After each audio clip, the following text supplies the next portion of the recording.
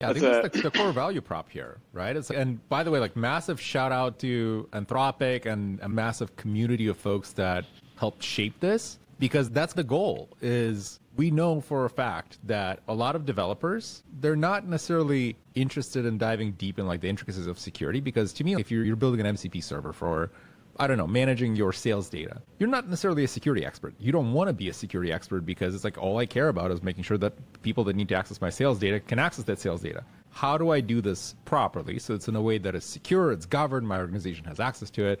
If your organization uses, whether it's Okta or Entra ID, can I just plug it in and run with it instead of me having to implement it? And I think that's the that split between the responsibilities that Aaron was talking about is crucial to enable this because then as a developer, I know what concerns I need to be worried about and I know what concerns I can just say, oh, this authorization server here will handle it for me. It feels like very much the, the kind of encapsulation that we always strive for in our code, right? It's all this depend on this interface. I don't really care or know how that interface is implemented. That I, I trust that the, whoever built the in, implementation of that interface did a good job, but I just care about the interface, and that leaves me yes. the freedom to say, oh, okay, assuming that interface works, I'm going to go do the stuff that I care about. I don't Absolutely. have to worry about building both sides of that. Oh yeah, and think about it too. Like it's a strategy for risk mitigation because if you were an organization, do you trust that your developers, every single developer that's going to build an MCP server, is going to have the expertise and knowledge to properly know how to mint tokens, how to sign them, how to store them, how to make sure that they rotate them,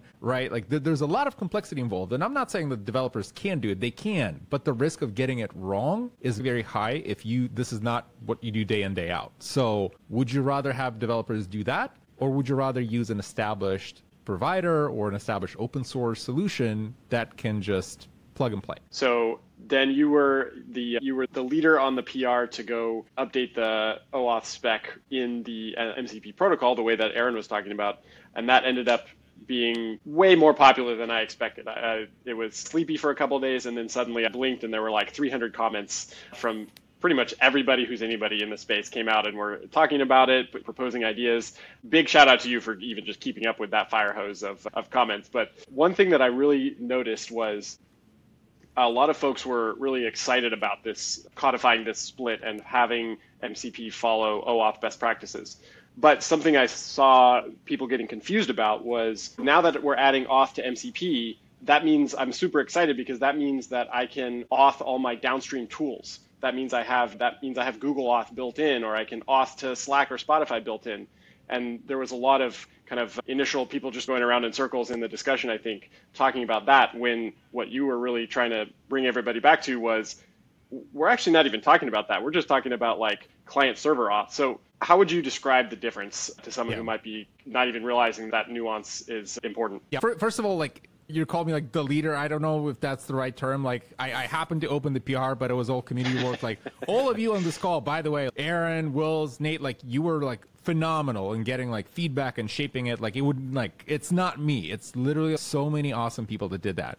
And I think that to your question though, like what the difference is when folks think about connecting specific services, like they think about a scenario in mind. I want my MCP server to I don't know, analyze my email or summarize my PDFs that are stored in Dropbox or something like that. They think about it in terms of a scenario. And oh, for me to log into Dropbox, I need Dropbox credentials. That's it, right? How do I get the credentials? But there's an interesting part here that sometimes get missed is that separation of concerns is that you no longer talk it's not like a desktop or cursor or windsurf or vs code talk directly to dropbox they talk through your mcp server is the conduit to those other apis what that means in practice is when Dropbox issues a token, it issues it to a specific client, right? And in this case, the question becomes who's the token issued to?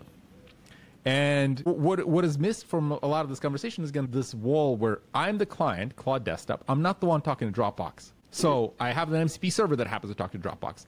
And what I'm implementing is I am protecting my MCP server. That's that first step. And then the MCP server will talk to Dropbox. So this first hop is what we're talking about here. Is I'm protecting the MCP server. I'm protecting this the resource server in kind of the OAuth parlance, and the client is talking to the resource server. So I need to get a token for the MCP server itself. Whatever my MCP server is doing. And then it's the responsibility for the MCP server to say, okay, now I know that you're an authorized user, you have a valid token. how do I talk to Dropbox? And this is where the second step comes in. So now you need to make sure that you connect your server to Dropbox. And this is, I know that you folks have been looking at that, you have a document. We're not going to do any spoilers here, but th- that second step is completely separate for can I access this server to begin with? The question is not can I access Dropbox, it's can I access this MCP server that happens to also be talking to Dropbox? Because also you run into scenarios where MCP servers can do a million things. You can have an MCP server that connects to Dropbox, Gmail, Slack. It can start going directly to OpenAI, and OpenAI requires like API keys and not actually OAuth.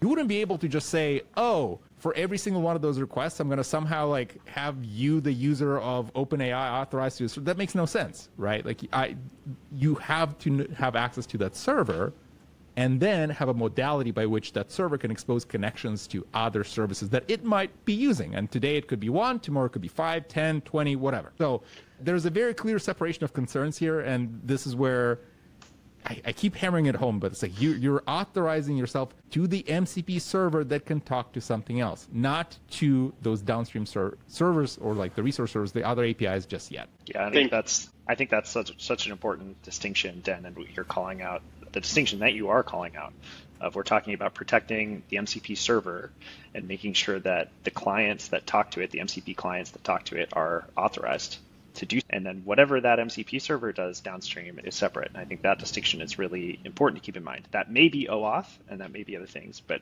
that's Aaron key. just